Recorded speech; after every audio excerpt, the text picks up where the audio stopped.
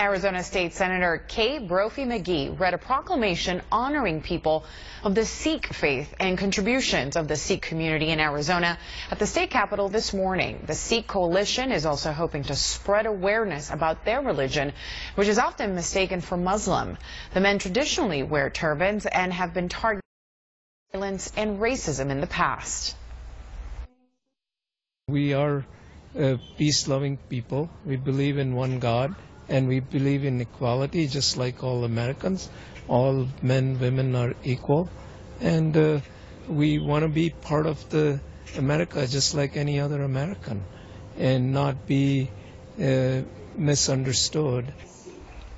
Sikhism is the fifth largest religion in the entire world. There is an estimated 4,000 Sikhs living in Phoenix.